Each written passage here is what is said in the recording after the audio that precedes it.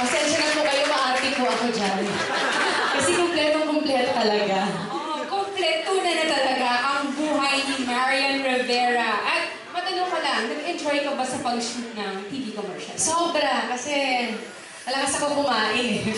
So, bawat, bawat shot ng product eh, talagang kinakain ko siya at wala akong sinasayang.